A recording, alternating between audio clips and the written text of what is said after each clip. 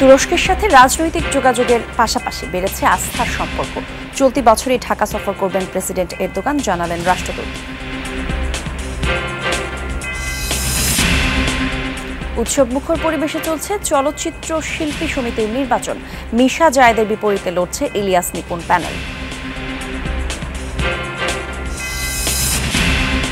দিনাজপুরের আশুরার বিলের ঐতিহ্য ফিরিয়ে আনার উদ্যোগ মেগা পরিকল্পনা হাতে নিয়েছে সরকার। ক্ষতিগ্রস্ত হবার শঙ্কা চাষিদের। কি করে হলো? খাজনা করিস তারা কি করে নিল? সবাই পাশে দিন। সবারই আছে। তাদের সাথে বসতে চাই দেখাতে চাই এই জায়গাটা অপার সম্ভাবনা একটা জায়গা।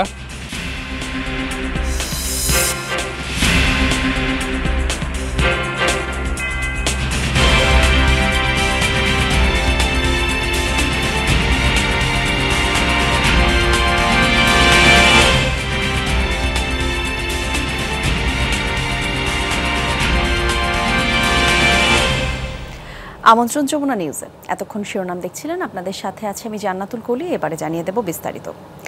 কেবল কূটনৈতিক নয়, বাংলাদেশের সাথে রাজনৈতিক সম্পর্ক বাড়িয়েছে তুরস্ক। ঢাকায় দেশটির রাষ্ট্রদূত জানান এবছরই ঢাকা সফর করবেন president Recep Tayyip Erdogan.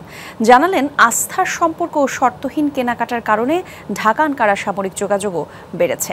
Missile, drone helicopter সহ সর্বাধুনিক অস্ত্র ও সরঞ্জাম বিক্রির প্রকল্প চলমান। বিশেষ প্রতিনিধি মাহফুজ মিশু কথা বলেছেন তার সাথে। যুদ্ধ অপরাধীদের ফাঁসিকে কেন্দ্র করে তুরস্কের সাথে টানাপোড়েনের শুরু। সে সময় এই বিচার বন্ধের কথা বলেছিল প্রভাবশালী দেশটি. এটা অতীতের বিষয়। এই নিয়ে আমি আর কিছু বলতে চাই না। সামনের দিকে এগোতে চাই ঘটনার দু বছর পর তুরস্কে সামরিক অভ্যুত্থান চেষ্টা হলে প্রথম বিদেশি সরকার প্রধান হিসেবে এরদোগানের সমর্থনে চিঠি লিখেন শেখ হাসিনা। এক চিঠিতেই পাল্টে যায় সমীকরণ। পরবর্তীতে ঢাকা সফরে আসেন দেশটির প্রধানমন্ত্রী পররাষ্ট্রমন্ত্রী। রোহিঙ্গা সংকট দেখতে আসেন এরদোগান পত্নীও। দুদফা আনকারা সফর করেছেন বাংলাদেশের পররাষ্ট্রমন্ত্রীও। Proof of our good এসব উচ্চ পর্যায়ের সফর প্রমাণ করে দ্বিপাক্ষিক সম্পর্ক কতটা ভালো? সরকারের পাশাপাশি আওয়ামী লীগ বিএনপি সহ রাজনৈতিক দলগুলোর সাথেও যোগাযোগ অব্যাহত আছে। Uh, মুজিব জন্মশতবার্ষিকীর অনুষ্ঠানে আসতে না পারলেও দ্রুতই তুর্কি প্রেসিডেন্টের সফর নিয়ে আশাবাদী রাষ্ট্রদূত। Uh, গত বছর উনি আমন্ত্রিত ছিলেন। সেটি নবায়ন হয়েছে।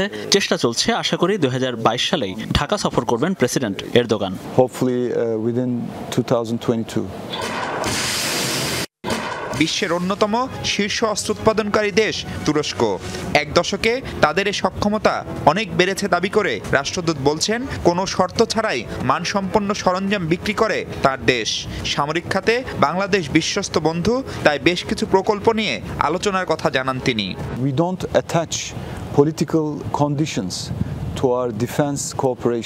সামরিক কেনাকাটায় আমরা রাজনৈতিক শর্ত আরোপ করি না। অনেকগুলো প্রকল্প নিয়ে বাংলাদেশের সাথে আলোচনা চলছে। একক কোনো বাহিনী নয় সবার সাথে কথা হচ্ছে তবে এর বিস্তারিত আমার পক্ষে প্রকাশ করা সম্ভব নয়।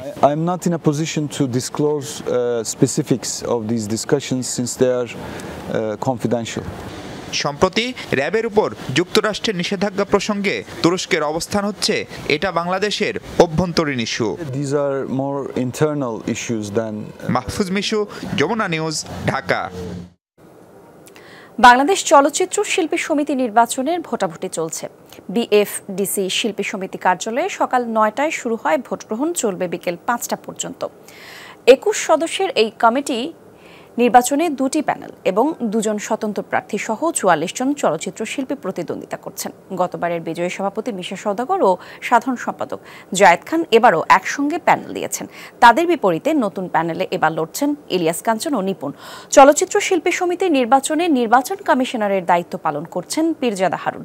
দুই বছর মেয়াদী এই নির্বাচনে মোট ভোটার চারশো আঠাশ জন।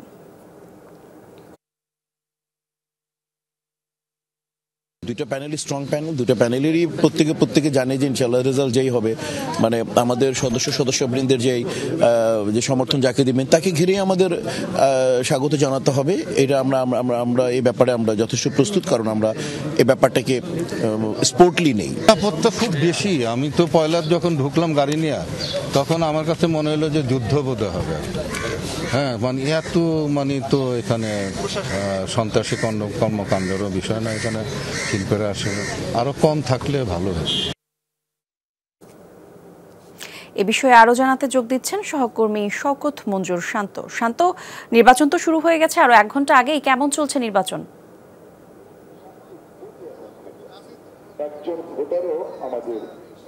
ফলে এখানে কিন্তু বলতে হবে যে আসলে বাংলাদেশের সাধারণ মানুষের জন্য যে তারকা, মহাতারকা যারা আছেন, তারা কিন্তু নির্বাচন করছেন এবং এক ঘণ্টা আগে নির্বাচন শুরু হয়েছে এবং এখানে আমরা দেখতে পাচ্ছি প্রত্যেকটি প্যানেলের সদস্য যারা আছেন, যারা নির্বাচন করছেন, তারা কিন্তু এই যে সরু পথটি রয়েছে, এই পথের দুই পাশে অবস্থান নিয়েছেন।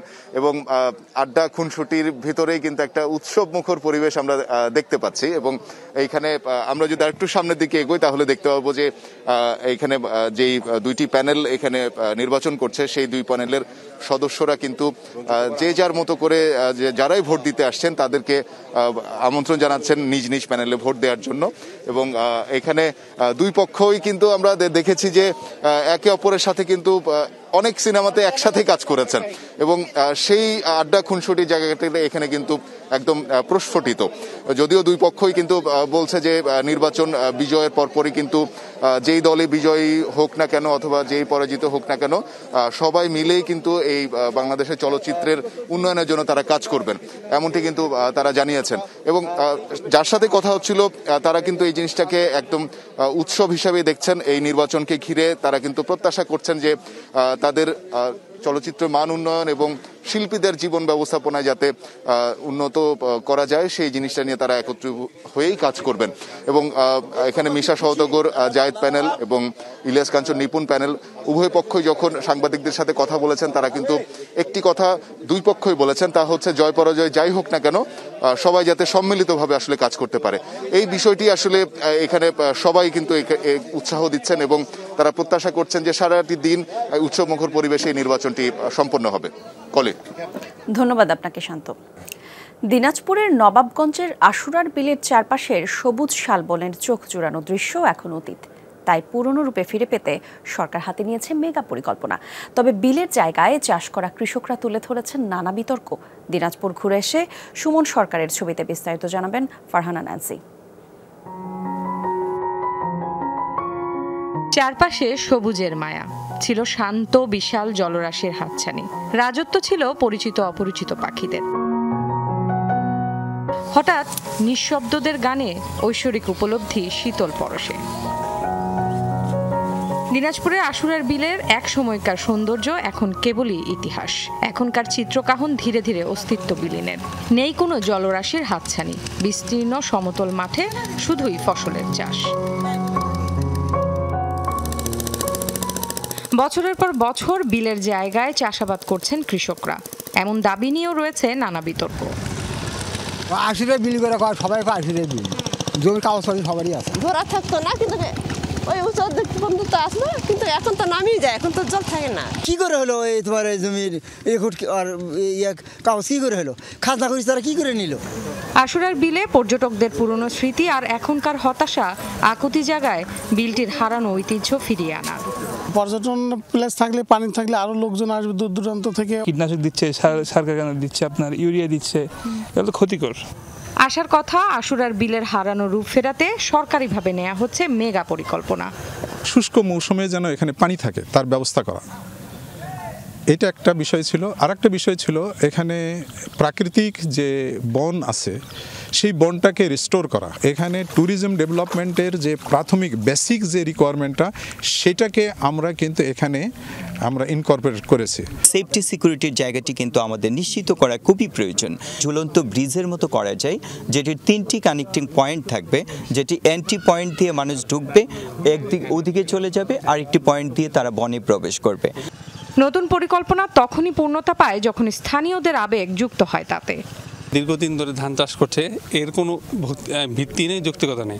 আমরা একটা ট্যুরিস্ট স্পট করে আসলে তাদের সাথে বসতে চাই দেখাতে চাই এই জায়গাটা অপার সম্ভাবনা একটা জায়গা। নতুন উদ্যোগ বাস্তবায়ন হলে চারপাশে শালবনকে দেয়া হবে পর্যটকদের মনের মতো রূপ। একবার ভাবুন তো আপনার চারপাশে সবুজ অরণ্য আর থই থই জলরাশির মাঝে আপনি হেঁটে চলেছেন। সেখানে নিঃশব্দকে মাঝে মাঝে ছুটি দিচ্ছে হাজারো নাম না জানা পাখি। তবে ভ্রমণ পিপাসুদের এমন সব আকাঙ্ক্ষা পূর্ণ হবে। দিনাজপুরের বহু পুরনো এই আশুরার বিলটি সঠিক পরিকল্পনার মাধ্যমে আবার প্রাণ ফিরে পেলে। Farhana Nancy, Jamuna News, Nawabganj, Dinajpur. Narayanganj City Corporation নির্বাচনী প্রমাণ করে আওয়ামী লীগ সুষ্ঠু, স্বচ্ছ ও নিরপেক্ষ নির্বাচনে বিশ্বাস করে। এগারোতম সংসদের ষোলো অধিবেশনের সমাপনীতে কথা বলেন প্রধানমন্ত্রী শেখ হাসিনা। এ সময় তিনি বিদেশের লবিস্ট নিয়োগে বিএনপির কোটি কোটি টাকার উৎস খুঁজে বের করার আহ্বান জানান। সেখানেও আমরা যেমন সংসদের ষোলতম অধিবেশনের সমাপনী দিনে বক্তব্য রাখেন প্রধানমন্ত্রী শেখ হাসিনা। বলেন বিএনপি বিদেশে লবিস্ট নিয়োগ করে দেশের বিরুদ্ধে ষড়যন্ত্রে নেমেছে। লবিস্ট নিয়োগে বিএনপির বিপুল অর্থের উৎস খুঁজে বের করার আহ্বান জানান প্রধানমন্ত্রী।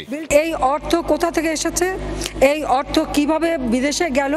আর বিদেশি ফার্মকে এই যে লক্ষ লক্ষ বা কোটি কোটি ডলার যে তারা পেমেন্ট করল এটা কোথা থেকে বেরো এই জবাবদিহিটা তাদের দিতে হবে। এটা তাদের ব্যাখ্যা দিতে হবে। র্যাবের উপর যুক্তরাষ্ট্রের নিষেধাজ্ঞার বিষয়েও সংসদে কথা বলেন প্রধানমন্ত্রী। বলেন যারা সফলভাবে জঙ্গি দমনে ভূমিকা রেখেছে তাদের উপরেই নিষেধাজ্ঞা দিয়েছে যুক্তরাষ্ট্র।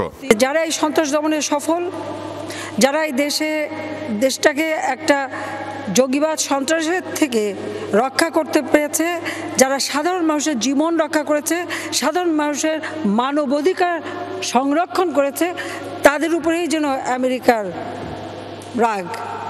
আমেরিকাকে আমি দোষ দেই না। মানুষ স্পিকার ঘরের ইঁদুর বাদ কাটলে কাকে দোষ দেবেন? এ সময় প্রধানমন্ত্রী বলেন আওয়ামী লীগ সুষ্ঠু ও নিরপেক্ষ নির্বাচনে বিশ্বাস করে।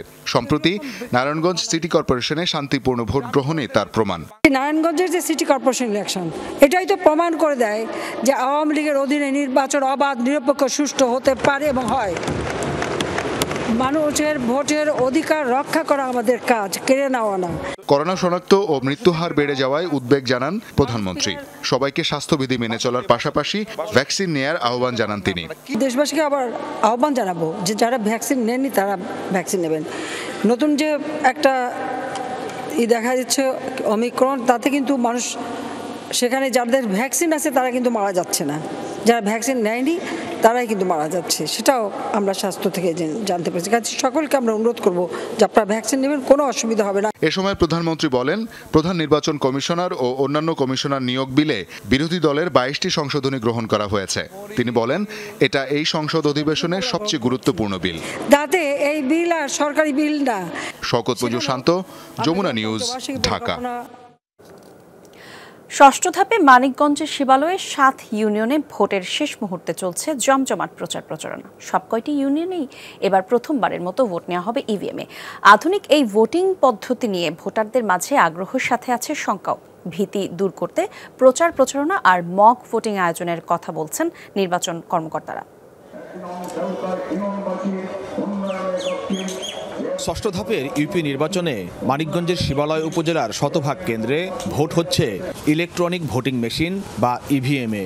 এর আগে এই উপজেলার ভোটারদের ইভিএমে ভোট দেওয়ার কোনো অভিজ্ঞতা নেই। তাই এই পদ্ধতি নিয়ে আগ্রহের পাশাপাশি ভোটারদের মাঝে আছে নানা শঙ্কা। শুনতে নতুন ইভিএম ভোট হব তো আমরা বলতে পারব না কীভাবে দোয়া লিখব না লিখব। আমাদের কোনো আইডিয়া নাই কারণ এই তো ভোট দেইনি এই বিএমে ভোট দিলে অনেক ভোট মনে হয় যে মার যাবে তার কারণ আমাদের মতো অশিক্ষিত তো অনেকই আছি। দিলাম এক মার্কা গেল আরেক মার্কা ওইটা নিয়ে তো আমার করে সন্দেহ। জিনিসটা না দেখাইলে পরে তো আমরা বুঝুম না। এই নতুন নতুন আইসে আমরা এটা জীবনে কোনোদিন ভোট দেয়নি ব্যালট থাকলে পরে একজনের পেশি শক্তি আছে সে ব্যালট ওখান থেকে সে আহ, জোর করে ব্যালট মারিয়া ভোটটা নিয়ে গেল। আর ইভিএমে এটা সম্ভবপর না। উপজেলার তেওতা ও শিবলায় সদর ইউনিয়নের ভোটারদের বড় একটি অংশের বসবাস যমুনার দুর্গম চরে। পিছিয়ে পড়া এই জনপদের মানুষকেও ভোট দিতে হবে আধুনিক পদ্ধতিতে। তাই ভোট চাওয়ার পাশাপাশি প্রার্থীরা ইভিএম ভীতি কাটাতেও প্রচার চালাচ্ছেন। আমরা যার কাছে যাই, যে বাড়ি যাই, তাদের কথাই একটা বাবা ইভেবে তো ভোট আমরা দিতে পারব না। এই ভোটটা খুবই কম কষ্ট হবে যদি ভোটটা নেওয়ার যদি মানে দেরি হয়। বিশেষ করে চরাঞ্চলের লোক। এদের ভিতরে বেশি আতঙ্ক লক্ষ্য করা যায় এবং আমরা যে গ্রাম গ্রাম এলাকা ভর এলাকা যেটা এখানেও মানুষের ভিতরে একটা আতঙ্ক আছে ভিভ নিয়ে এটা বুঝে না। তো এটা যদি ট্রেনিংয়ের ব্যবস্থা করা হয়তো পূর্ব থেকেই তাহলে এটা জনপ্রিয়তা পাইতো কি। ইভিএমে কীভাবে ভোট দিতে হবে? আমাদের লোক যারা ক্যানভাস করে বা এলাকায় আছে তাদেরকে বোঝাচ্ছি যে এইভাবে আপনাদেরকে ইভিএমে ভোট দিতে হবে এভাবে টিভি দিতে হবে। আমরা সে নমুনা আমরা দাঁড়ে দাঁড়ে গিয়ে দেখাচ্ছি। নির্বাচন কর্মকর্তারা বলছেন ইভিএমে ভোট দেওয়া শেখাতে আয়োজন করা হবে মক ভোটিং। এই মক ভোটিংয়ের মাধ্যমে বা ডেমো ভোটের মাধ্যমে বা আমাদের যে এখানে যে প্রশিক্ষণ হয়েছে, প্রার্থী বা তাদের প্রতিনিধি বা তাদের পুলিং এজেন্ট, ভোটার, সবাই এই বিষয়ে আশ্বস্ত থাকবেন। যে ভোটটা তাদের পছন্দকৃত প্রার্থীকে তারা নির্বিঘ্নে এবং সহজে দিতে পারবেন? আগামী একত্রিশ জানুয়ারি ভোট হবে শিবালয় উপজেলায়। সাত ইউনিয়নে চেয়ারম্যান পদে লড়ছেন তেত্রিশ জন প্রার্থী। BM Khorshed, Jamuna News, Manikganj. যুক্তরাষ্ট্রের ওয়াশিংটনে একটি হোটেলে গোলাগুলির ঘটনায় প্রাণ হারালেন একজন। বৃহস্পতিবার বারের হামলায় আরও চারজনের অবস্থা সংকটাপন্ন, হতাহতদের সবাই নারী। পুলিশ টুইট বার্তায় জানায়, ভোর পর্যন্ত ডেইজিন হোটেলে পার্টি চলছিল। আবাসিক এলাকাটিতে বেশ কয়েকটি দেশের দূতাবাস আছে। হামলার খবর পেয়েই চালানো হয় অভিযান। কয়েক ঘণ্টা ঘিরে রাখা হয় হোটেলটি। সেখানে পাঁচ নারী আটকা পড়েছিলেন। তাদের উদ্ধার করে স্থানীয় হাসপাতালে নেওয়া হলে একজন মারা যান। এ ঘটনায় তদন্ত শুরু হয়েছে, তবে হামলাকারীকে এখনও শনাক্ত করা যায়নি। পুলিশ বলছে, হোটেল কর্তৃপক্ষের সাথে মাদক সিন্ডিকেটের যোগাযোগ রয়েছে। অতীতে এ ধরনের অভিযোগ পেয়েছিলেন তারা। টানা তৃতীয় দিনের মতো করোনায় দশ হাজারের ওপরে মৃত্যু দেখল বিশ্ব। মোট প্রাণহানি ছাপ্পান্ন লাখ ছাপ্পান্ন হাজার ছাড়ালো। দৈনিক প্রাণহানি ও সংক্রমণ শনাক্তের শীর্ষে এখনও যুক্তরাষ্ট্র। দেশটিতে নতুনভাবে আড়াই হাজারের বেশি মানুষের মৃত্যু লিপিবদ্ধ করা হলো।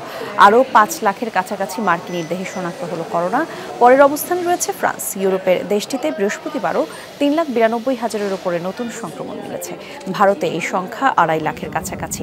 দেশটিতে এদিন মৃত্যুবরণ করেন ছশো সাতাশ জন দু লাখ ত্রিশ হাজারের মতো ব্রাজিলীয় শরীরে নতুনভাবে শনাক্ত হলো করোনা। এদিন ইতালি, স্পেন, জার্মানির মতো ইউরোপীয় দেশগুলোয় এক থেকে দুই লাখ সংক্রমণ শনাক্ত হয়। করোনাভাইরাসের চিকিৎসায় সেবনযোগ্য বড়ি প্যাক্সলোভিড এর অনুমোদন দিল ইউরোপীয় ওষুধ সংস্থা ইএমআই। ইএমএ। বৃহস্পতিবার মার্কিন ওষুধ নির্মাতা প্রতিষ্ঠান ফাইজারের ওষুধটিকে ছাড়পত্র দেওয়া হয়। গবেষণা অনুসারে করোনায় আক্রান্ত হওয়ার পর এটি মারাত্মক শারীরিক জটিলতায় ঝুঁকি কমায়। ফলে এই চিকিৎসা নেওয়া রোগীদের হাসপাতালে ভর্তি এবং মৃত্যু হার তুলনামূলক কম। এমনকি করোনায় উচ্চ সংক্রমণশীল ধরন ওমিক্রন রুখতেও বেশ কার্যকর ওষুধটি। ইএমএ বলছে, করোনায় আক্রান্ত যেসব প্রাপ্তবয়স্কদের আলাদা অক্সিজেন সরবরাহের প্রয়োজন পড়ে না, তারা নিতে পারবেন এই চিকিৎসা। এর আগে ওষুধটি ব্যবহারের সবুজ সংকেত দিয়েছে যুক্তরাষ্ট্র, কানাডা ও ইসরায়েল সহ কোটি কয়েক দেশ। দর্শক, এই ছিল যমুনা নিউজে।